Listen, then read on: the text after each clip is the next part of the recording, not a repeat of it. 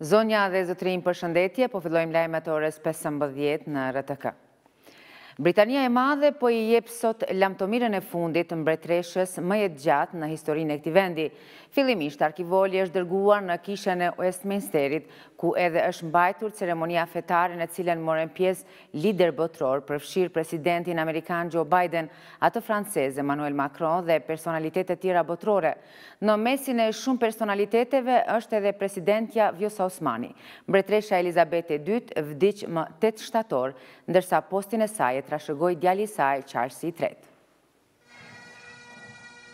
Mbretëria e Bashkuar sot i jep lamtumirën Mbretëreshës Elizabetës së Dytë, e cila vdiq më tetë shtator në kështjellën Balmoral në Skoci. Kortezhi i arkivolit të Mbretëreshës ka nisur rrugëtimin e fundit nga Westminster Hall, ku ka qëndruar për disa ditë, e ku qytetarët e kanë nderuar dhe në shtrat topi është nisur drejt asaj që njihet si Westminster Abbey, ku është kryer një ceremoni kishtare, e më pas ka vazhduar rrugëtimin drejt kështjellës Windsor, ku edhe do të varroset me një ceremoni private.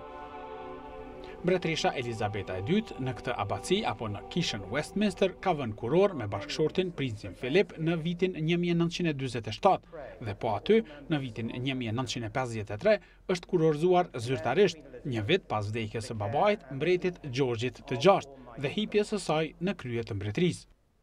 Në ceremoninë mortore për mbretëreshën Elizabeta e Dytë marrin pjesë edhe qindra burrështetas e delegacione nga mbarë bota, përfshirë edhe presidentin amerikan Joe Biden dhe zonjën e parë Jill.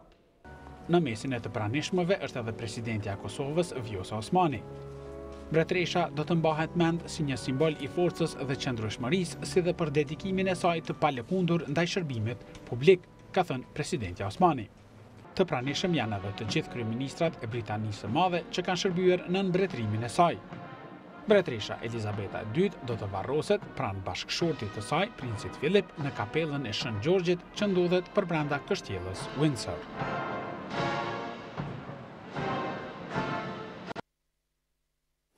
Në vazhdim ndjekim një profil të monarkës së Mbretërisë së Bashkuar se si udhëhoqi për 7 dekada vendin.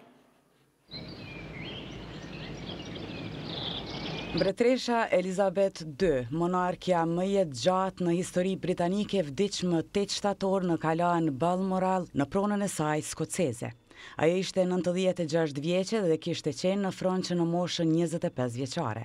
Vdekja e saj shënon fundin e një prej mbretërimeve më të suksesshme në çdo monarki bashkëkohore. Elizabeth u rrit e rrethuar nga të afërm mbretërorë që iknin nga vendet e tyre në mes të kaosit të Luftës së Dytë Botërore dhe duke u strehuar në Angli. Por nën sundimin e saj, monarkia e Britanisë jo vetëm që mbijetoi, por vazhdoi të ishte plotësisht popullore. Një sondazh i fundit në Mbretërinë e Bashkuar tregoi se mbretëresha gëzohej për vlerësimin në favor të saj prej shtatëdhjetë e pesë për qind. Mbrojtësit e një republike britanike shpesh përmendin popullaritetin e mbretëreshës si arsyen pse Anglia mbetet një monarki. Elizabeta lindi më njëzet e një prill një mijë e nëntëqind e njëzet e gjashtë. Në atë kohë, Elizabeth ishte e treta në radhën e fronit. Ajo ishte vajza më e madhe e djalit të dytë dhe xhaxhai i saj, Eduardi, ishte trashëgimtari i fronit. Në vitin një mijë e nëntëqind e tridhjetë e gjashtë, Eduardi hoqi dorë nga froni dhe babai i Elizabeth u ngjit për t'u bërë Xhorxh gjashtë. Elizabeta tani ishte papritmas trashëgimtare e fronit.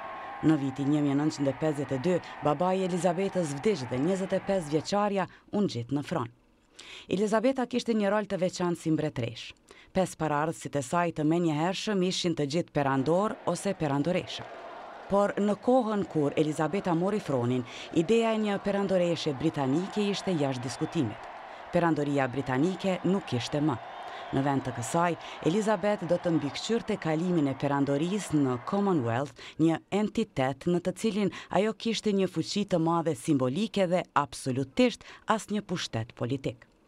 Mbretëresha përshkruhej edhe si mjeshtër gjatë gjithë mbretërimit të saj në artin e tërheqjeve të hirshme duke ruajtur atmosferën e sovranitetit. Për shkak të asaj atmosfere sovraniteti, mbretëresha ishte në gjendje të shërbente si një aset i madh politik pikërisht pasi fuqitë e saj aktuale zvogëloheshin. Kritikët argumentojnë se në vitet një mijë e nëntëqind e shtatëdhjetë Ndërkohë që fuqia ekonomike dhe ushtarake e Britanisë u zvogëlua, popullariteti i mbretëreshës e mbajti Britaninë si fuqi në skenën botërore. Mbretëresha ishte kreu i shtetit sepse ligjet e trashëgimisë e bënë atë të tillë, por ajo ishte edhe kreu i kombit sepse aftësitë e saj të veçanta politike, jetëgjatësia e saj e bënë atë kaq të përshtatshme për këtë detyrë. Në shtatë dekada në fron, ajo shërbeu si një lidhje midis fundit të perandorisë dhe fillimit të demokracisë liberale kozmopolite. Gjatë gati shtatëdhjetë viteve të saj në fron, mbretëresha ka shërbyer si një urë lidhëse mes të shkuarës dhe së tashmës. Të nderuar shikues, shkëputemi për pak çaste nga lajmet për t'u lidhur drejtpërdrejtë me konferencën e thirrur nga Partia Demokratike e Kosovës. më të gjatë, madje me tendencë të mundshme rritëse kur kemi parasysh krizën energjetike e cila veç se është paralajmëruar. Në anën tjetër, mënyra se si Qeveria e Kosovës i është përgjigjur kësaj krize më tepër do t'i përshtatej një krize të njëhershme, pasojat e së cilës do të ishin të kufizuara brenda një periudhe të shkurtër kohore dhe që do të ndikonte vetëm mbi disa kategori të shoqërisë. Kjo krizë po prek secilin qytetar dhe për këtë arsye kërkon një përgjigje më serioze dhe më gjithëpërfshirëse. Qytetarët e Kosovës Sot, më shumë se kurdoherë gjatë dy dekadave të fundit, kanë nevojë të ndjehen të sigurt në aspektin ekonomik. Sot, ata kanë nevojë të dinë se a ka një plan për një mbështetje më të qëndrueshme, apo duhet të ndjehen të mjaftuar me këto ndihma simbolike dhe të njëhershme të cilat Qeveria e Kosovës po i ndan për disa kategori të qytetarëve. Duke u nisur nga kjo, Kryetari i PDK-së, Memli Krasniqi, në seancën e Kuvendit të Kosovës, i ka propozuar Qeverisë dhe Kuvendit një plan pesë pikësh, i cili do të mundësonte që masat lehtësuese për përballjen me inflacionin, të përfshijnë një spektër shumë më të gjerë të qytetarëve, të ofrojnë siguri për një periudhë më të gjatë kohore dhe të ndihmojnë në rikuperimin e aktivitetit të përgjithshëm ekonomik. Përmes këtij plani të propozuar nga kryetari Krasniqi, PDK kërkon që nën një të lirohen nga TVSH-ja të gjitha mallrat esenciale të konsumit për një periudhë gjashtëmujore. Duke marrë parasysh se kostoja mesatare e shportës së produkteve ushqimore esenciale për një familje kosovare është rreth katërqind e njëzet e dy euro, Nga kjo masë, një familje mesatarisht do të përfitonte një zbritje të kostos së jetesës prej tridhjetë e tre pikë shtatë e gjashtë euro në muaj. Nën dy. Të lirohen nga akciza produktet e naftës për një periudhë gjashtë mujore, gjë e cila do të ulë çmimin e naftës për tridhjetë e gjashtë centë në litër. Duke supozuar një shpenzim mujor prej gjashtëdhjetë litra naftë në muaj për një familje, atëherë përfitimi direkt mesatar mujor nga kjo masë do të ishte njëzet e një pikë gjashtë euro në muaj. Nën tre. Të lirohet nga TVSH-ja konsumi i energjisë elektrike për një periudhë gjashtëmujore dhe të subvencionohen me njëzet e pesë për qind faturat e atyre që konsumojnë deri në një mijë e dyqind kilovat për orë.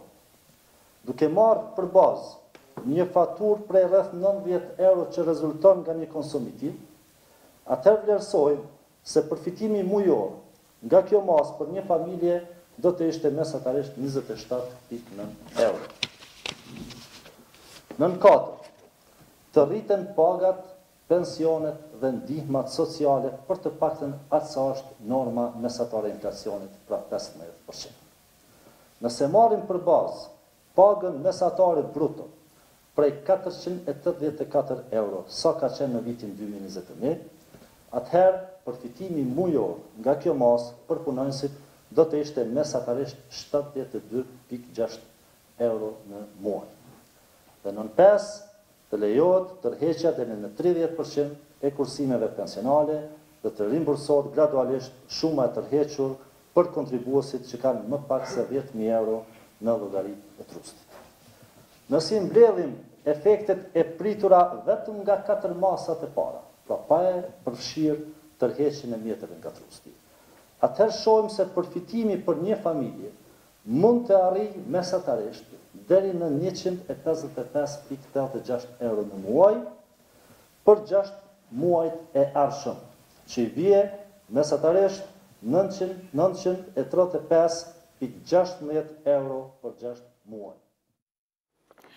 I kthehemi rrjedhës së edicionit të lajmeve, zyra e kryeministrit Albin Kurti bëri të ditur se kreu i qeverisë ka qenë në dijeni të një plani për atentat kundër tij në vitin 2021.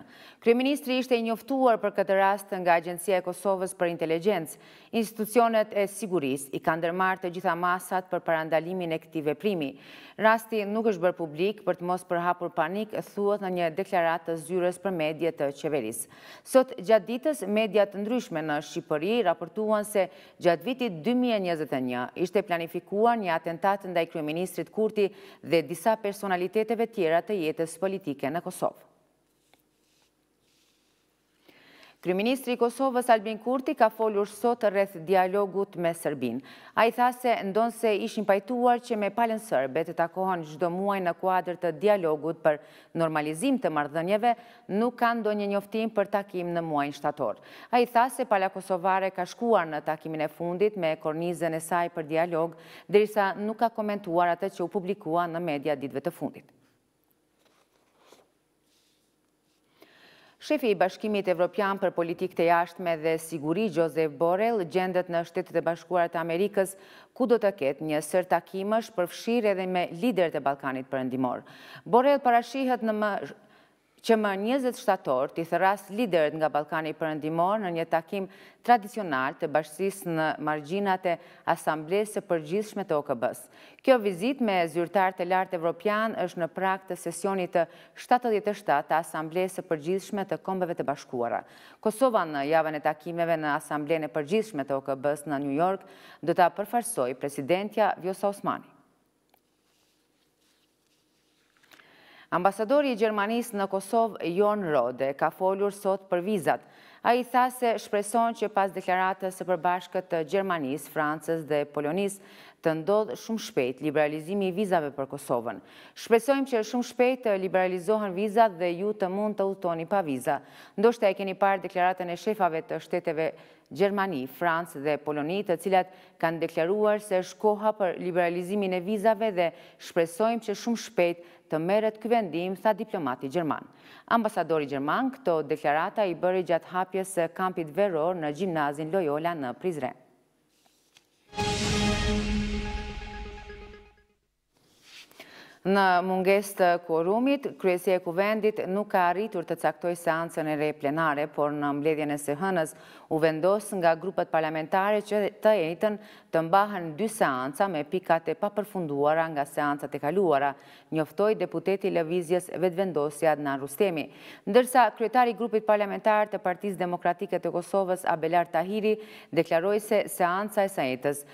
Duhet të nisë me grevën e përgjithshme. Ai i ka bërë thirrje kryeministrit Kurti dhe ministres Nagavci që të ulen dhe të gjejnë zgjidhje me sindikatat. Tahiri tha se kjo situatë është e papranueshme.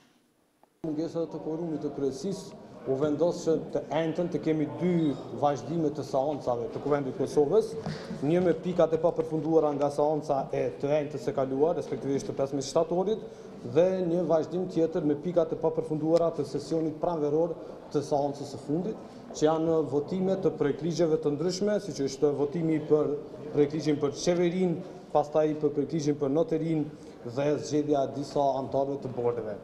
Padyshim se s'ka si të ndodhte ndryshe veçse të vazhdojmë pra ditën e enjte seancën me debatin për grevat e përgjithshme në Republikën e Kosovës. Po hyjmë në javën e katërt që mësimi në Republikën e Kosovës nuk po mbahet. Pra janë rreth 320.000 nxënës të cilët nuk po e vijojnë mësimin, rreth, rreth, rreth 30.000 mësimdhënës të cilët nuk po vazhdojnë me punën e tyre. Kjo është e papranueshme dhe është e papranueshme kryenecia e kryeministrit Kurti, i cili është përgjegjës direkt për këtë situatë e cila është shkaktuar pra në arsimin në Republikën e Kosovës. Ndërkohë kryeministri Albin Kurti dhe ministrat Artane Rizvanolli e Xhelal Sveçla inaguruan sistemin nacional për monitorimin e spektrit frekuencor. Shefi i qeverisë tha se Kosova i kushton rëndësi kësaj fushe dhe në këtë drejtim janë ndërmarrë hapat konkretë për sigurinë kibernetike. Kosova është vendi më i mbuluar me infrastrukturë brezgjërë, si dhe është duke i bërë hapat e parë për shtrirjen e rrjetave mobile pesë G. Shtrirja e rrjetave mobile pesë G kërkon monitorim dhe analizim të sofistikuar të brezit frekuencor. Qeveria e Kosovës që nga fillimi i mandatit të vet e ka përkrahur projektin KODE dhe rrjedhimisht edhe projektin e NSMS-së. Ky projekt është shpallur projekti me qëllim të mbrojtjes nacionale me vendim të Qeverisë së Republikës së Kosovës me datën trembëdhjetë prill të vitit dy mijë e njëzet e një. Infrastruktura digjitale është një nga parakushtet për digjitalizimin që e synojmë në qeveri dhe në ekonomi. Zhvillimet në digjitalizim duhet të shoqërohen me masat përkatëse për rritjen e sigurisë së rrjeteve dhe sistemeve, prandaj Qeveria e Kosovës i kushton rëndësi të veçantë sigurisë kibernetike si nga aspekti i politikëbërjes po ashtu edhe ndërmarrjes së masave konkrete që i adresojnë rreziqet për sigurinë tonë kibernetike.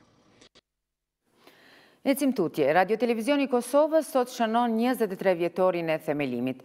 Televizioni publik është një nga institucionet më të rëndësishme jo vetëm në aspektin medial, por edhe në atë të integrimit të komuniteteve brenda vetes.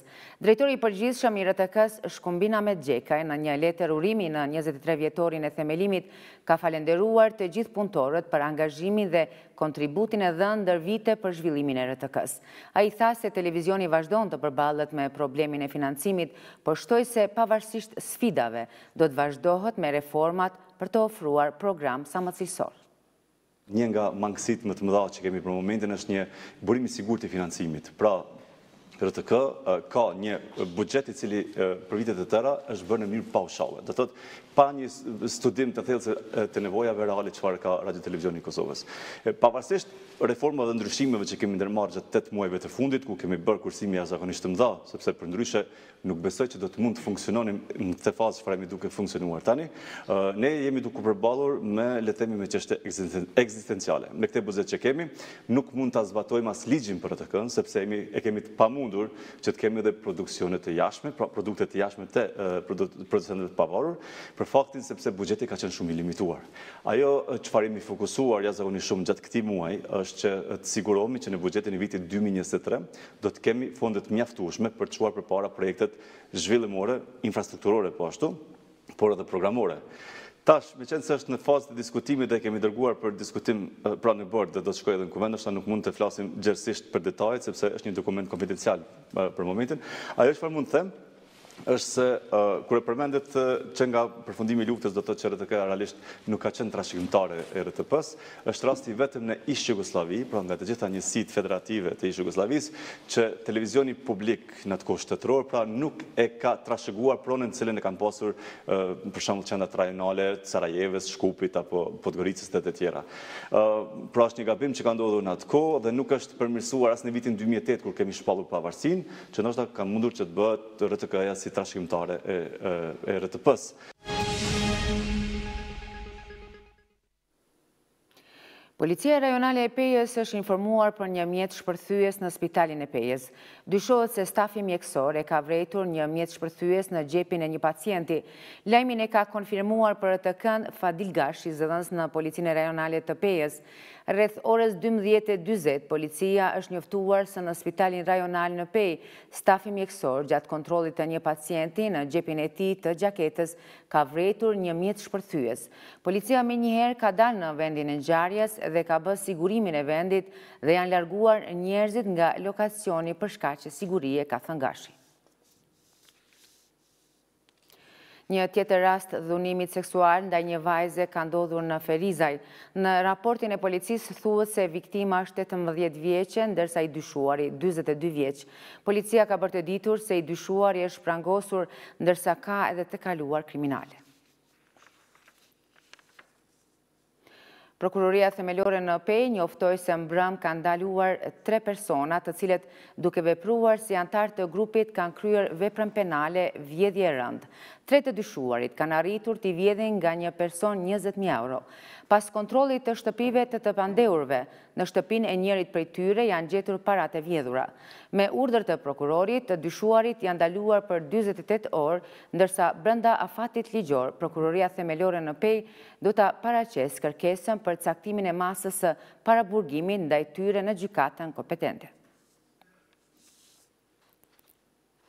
Ndoqët lajmet e orës 15, faleminderit që na ndoqët, mirupafshim.